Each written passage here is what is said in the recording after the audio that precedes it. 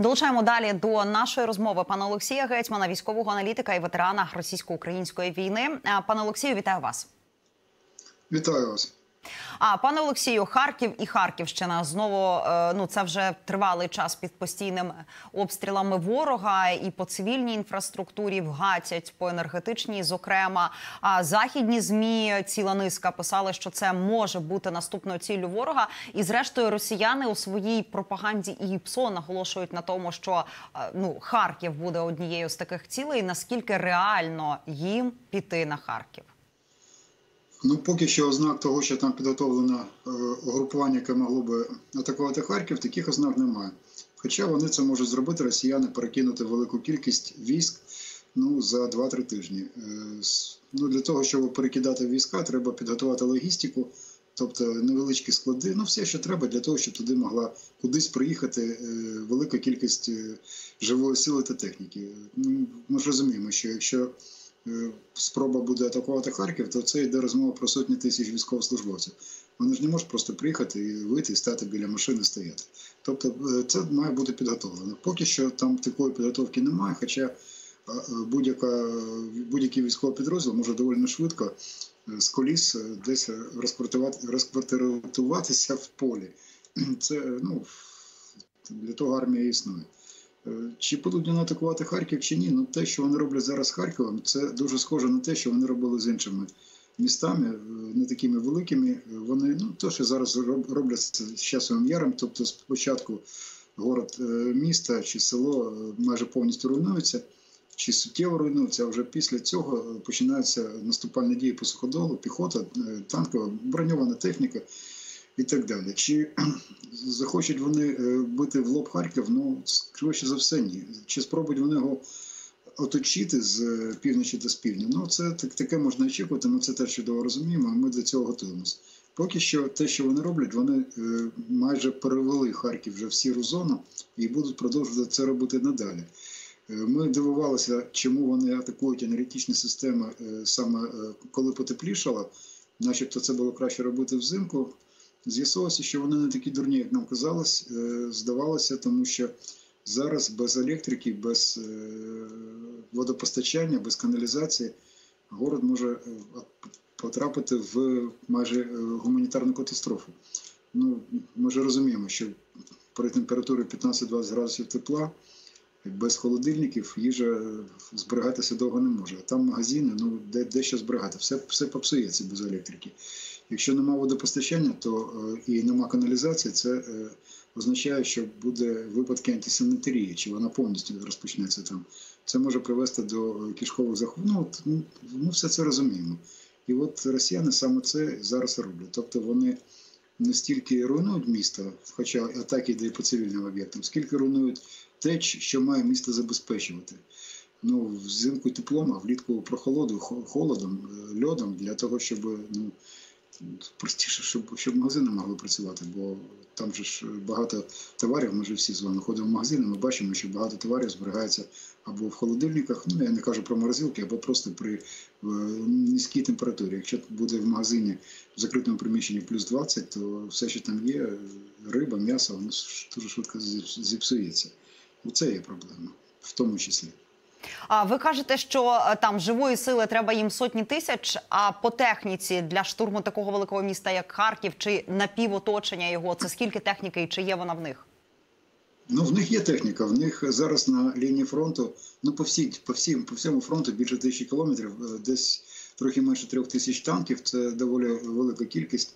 Е, техніки е, сотні тисяч, це е, ну порахували, що приблизно так, як вони роблять наступальну дію. Якщо використовувати ту тактику, яку вони використовують, то це треба щонайменше 300 тисяч живої сили. Ну вони збираються мобілізувати 300 тисяч, але це ж не одразу. Це не, не сьогодні вирішили мобілізувати і сьогодні вже мобілізували. Тому ну, нема впевненості з військової точки зору, що вони спробують в лоб бити Харків, але ну, що вони що вони зможуть його захопити, штурмуючи ну, безпосередньо по суходолу, але спроби такі 100% будуть. 100%. А паралельно так само йдуть удари по інфраструктурі по півдню, по Одесі, по Миколаєву, по Запорізькій області. Там теж можливе застосування оцієї отакої тактики. Ну я не знаю, давайте її сходу назвемо е, гуманітарного терору. Ну, е, ви знаєте, е, ну, в них були розмови росіян про те, що вони хочуть відрізати нас від Чорного моря. Це йде розмова про атаку на Миколаївщину і е, на Одещину.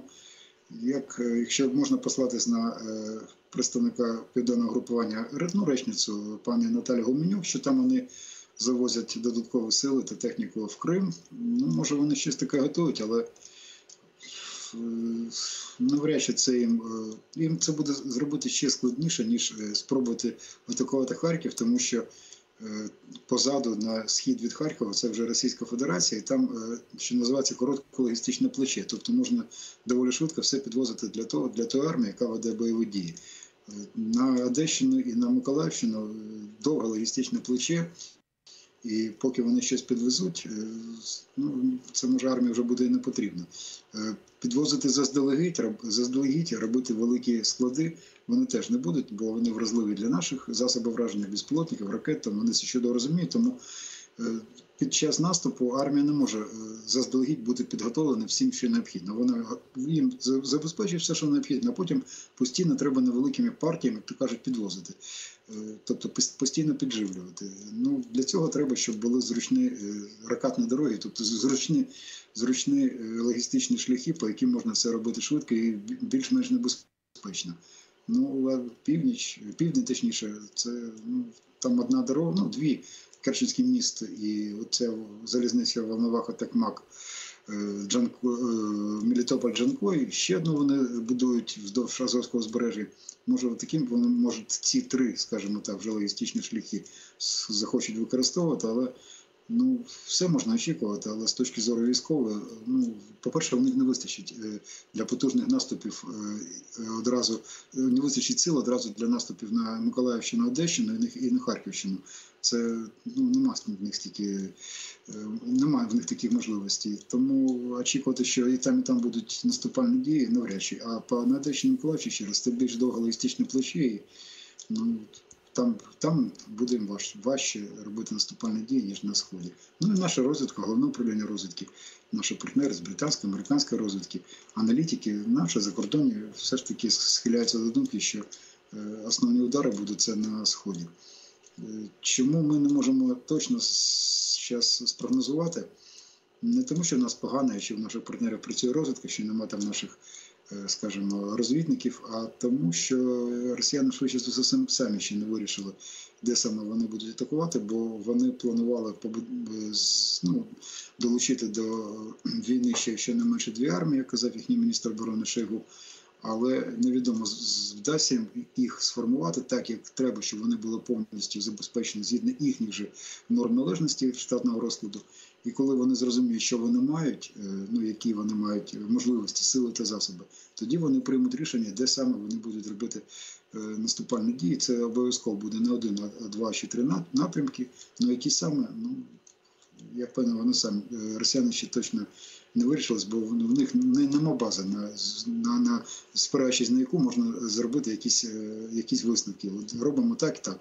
Коли ти не знаєш, що в тебе є остаточно, то як ти можеш щось прогнозувати, щось прописати? Ну, пропишуть, а з'ясується, що вони не змогли мобілізувати там стільки, скільки вони хотіли, чи стільки техніки долучити, чи стільки артилерії, тоді це буде ну, ну дурне діло з військової точки зору. Тому чекати залишилось, на жаль, недовго, пару місяців, про що кажуть і наше військове керівництво, і політичне керівництво, що десь наприкінці травня, на початку червня буде вони будуть готові росіяни для більш потужних наступальних дій. Ну це не означає, що до кінця травня вони нічого не будуть робити. Вони вже по великому рахунку розпочали ці наступальні дії. Можна можна вважати наступальними діями. Це вже їхні атаки на часів яр. Тобто це не як в школі по дзвонку, от прозвонив дзвонок, і ми почали якісь там дії. Ні, вони вони їх вже розпочали. На часом яру, впевнено, вони будуть їх підсилювати, а в інших містах, ну, коли будуть готові, розпочнуть. Е, брак ППО в нас е, і ну, наприклад, ми теж бачили це відео, де російські і винищувачі вже над часовим яром літають. Ну очевидно, що почувають себе в безпеці. Там потрібна ППО і для захисту міст е, і енергетичної інфраструктури від ударів оцих от ракетних. А чи ми наближаємося до критичної ситуації з ППО чи ні? Ну критична ситуація, вона вже критична ситуація. Ми, якщо ми не можемо захистити.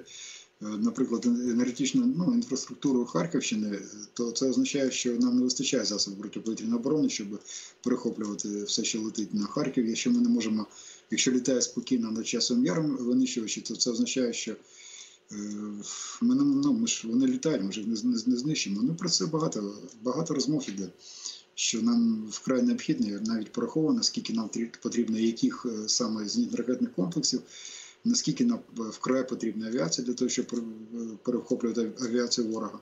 Ну, поки що всі це знають, всі знають, погоджуються. Це так. Це дуже приємно, що наші партнери зі Сполучених Штатів, з Європи розуміють, наскільки нам важко, погоджуються, але чомусь зброю. Але дій чомусь немає. Оце от най, е, найдивніше. Тут знову ж таки Жозеп Борель каже, що от у країнах е, е, Європи, Євросоюзу є сотня засобів ППО, а Україні не можуть надати навіть сім. Дмитро Кулеба казав, що так домовилися про якісь нові Петріоти, скільки їх і коли вони будуть, ну поки залишається не, невідомим. І так є чи є у партнерів тоді ресурс нам надати? надати ці системи ППО? Знаєте, це дуже просто робиться. Оці розмови я дуже дивую. Я не розумію, на кого вони розраховані, коли поважні люди з дуже поважним виразом обличчя кажуть, що зараз ми почнемо шукати це, що ну, наприклад, Петріо, де по всьому світу для того, щоб допомогти Україні, і це так пафосно, е, і всі так да, до, до, давайте. Ну от у вас планшет перед очима. Наберіть там е, Петріоти в світі. ЗРК Петріот в світі, і вам відкриється одразу, скільки в якій країні є є, є Петріота.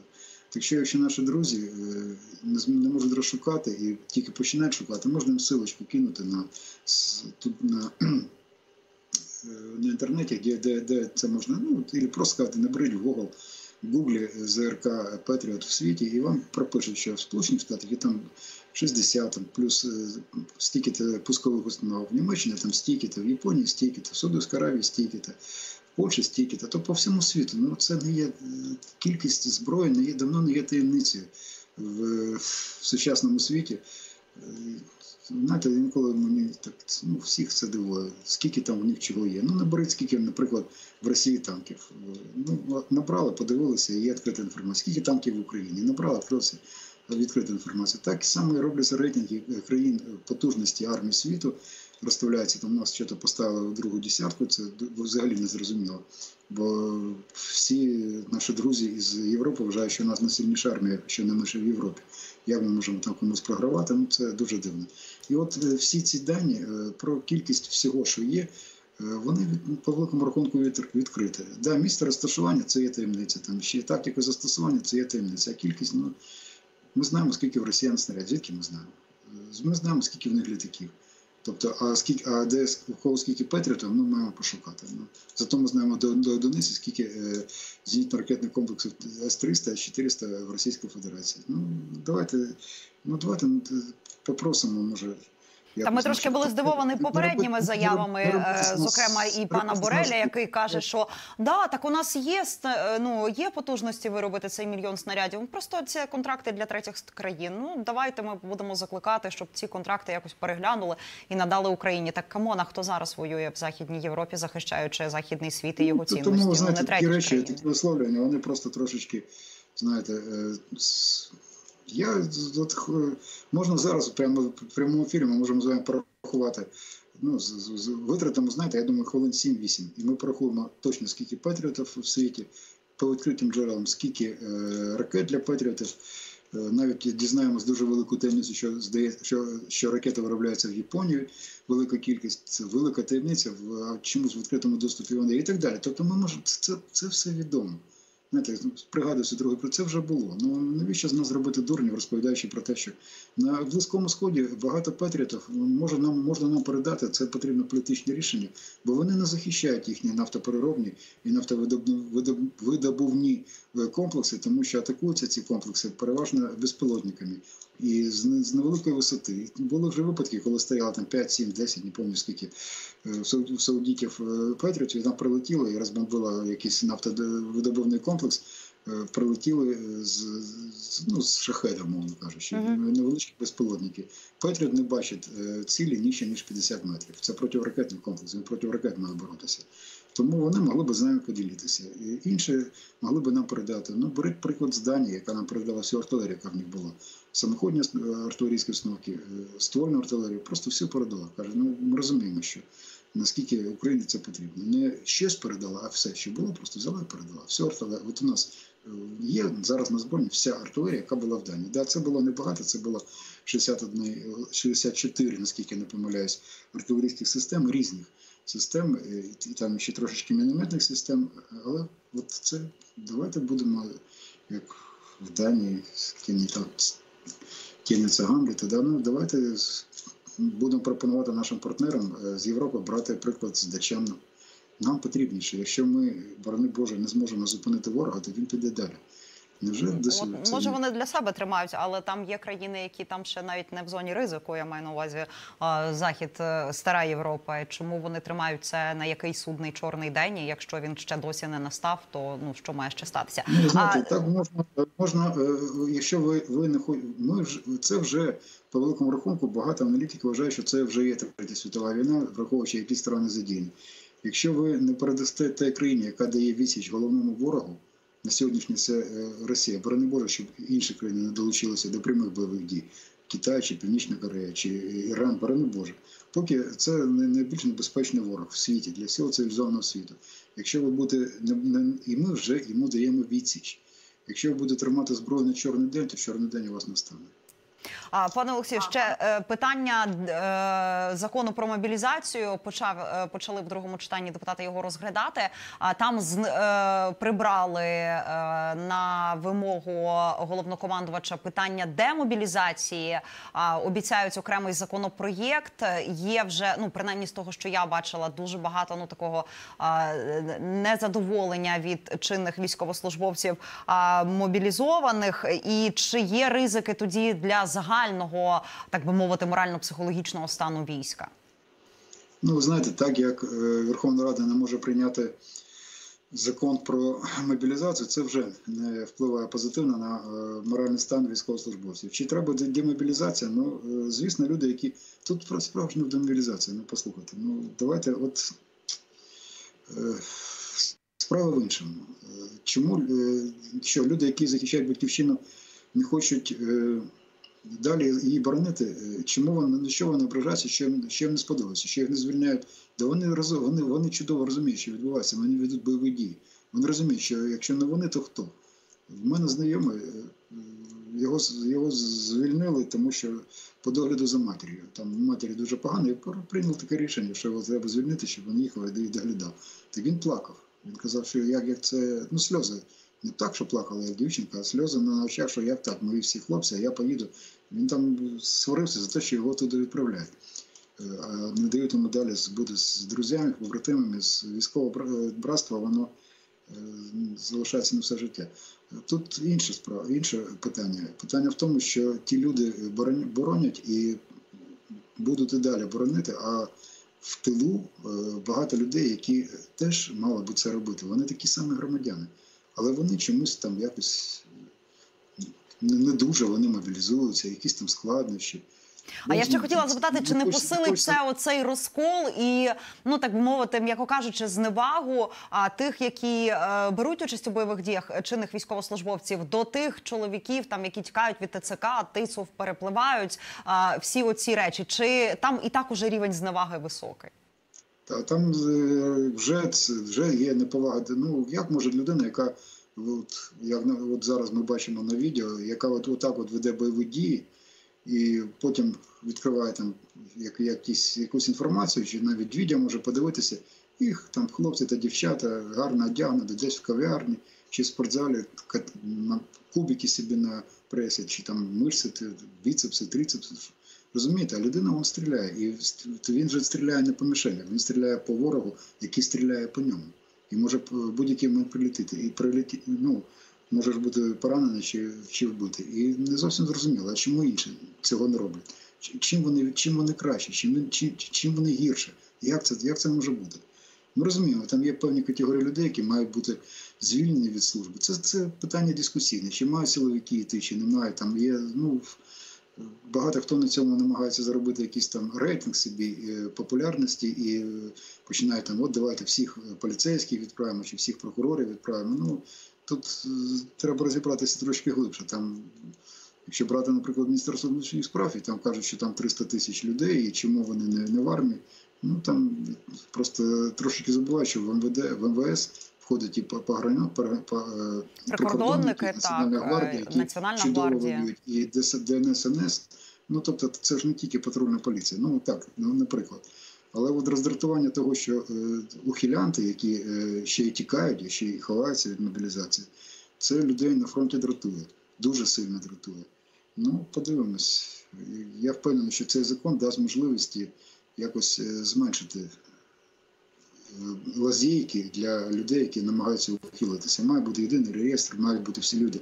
Ну, я не знаю, так важко зробити, зробити єдиний реєстр. Коли у нас вибори, у нас дуже швидко робиться і реєстр, і всі знають, де, де, хто, скільки людей, якого віку, де мешкають. Все, все дуже швидко відбувається. Коли треба мобілізувати, то якісь ду- дуже важко знайти людей, де Ну, будемо сподіватися, так що цей новий законопроект, власне, його і мета в тому, щоб е, розуміли резерви, облік його мета. Головне- мобілізація вона як тривала, так і триває. У нас діє правовий режим Сам, саме головне просто, стану. щоб були зрозуміли права і обов'язки, права людей, яких громадян, яких мають бути мобілізувати, і права е, ТЦК, які щоб вони знали, що робити. І ну ще раз, ну давайте ще раз скажемо ці слова. Під час війни захищати батьківщину це не право. Це а обов'язок. конституційний обов'язок, що до речі, прописано і в Конституції України. Дякую дуже, пане Олексію. Олексій Гетьман був з нами, військовий аналітик і ветеран російсько-української війни.